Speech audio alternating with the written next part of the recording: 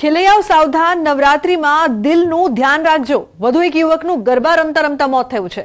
Heart એટેકથી યુવકની, યુવકના મોતની આશંકા છે હાલ. મોતનું સાચું કારણ જાણવા માટે હાલ પોસ્ટમોર્ટમની પ્રક્રિયા થઈ રહી છે. ગરબા રમતા રમતા ઢળી પડ્યો હતો યુવક. સુરતના અડાજણ એલપી સવાણી રોડ પર આ સમગ્ર બનાવ બન્યો છે.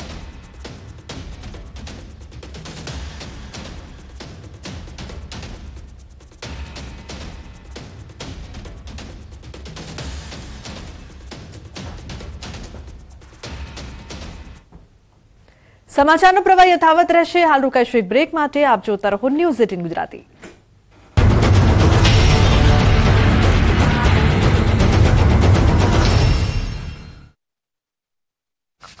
ઘણી ઠંડક આવે છે શરીરને ખૂબ જ શાંતિ મળે છે એટલું જ નહીં ચાંદીના વાસણોમાં ભોજન રાંધવા અને ખાવાથી મન ખૂબ જ તેજ બને છે તે આંખો માટે પણ ફાયદાકારક છે આ સિવાય ગેસ એસિડિટી કફને કંટ્રોલ કરે છે કાંસુ જ્યારે પણ તમે કાંસાના વાસણમાં ભોજન રાંધશો કે ખાશો તો તમને તેના શરીર પર ફાયદા પણ જોવા મળશે કાંસાના વાસણમાં ખોરાક ખાવાથી મન તેજ થાય છે અને લોહી શુદ્ધ થાય છે એસિડિટીની સમસ્યા નથી થતી અને ભૂખ પણ વધે છે પરંતુ કાંસાના વાસણમાં જમતા પહેલા એક વાતનું ખાસ ધ્યાન રાખો કે તેમાં ખાટી વસ્તુઓ પીરસવાથી તે ઝેર બની જાય છે જે ખાધા પર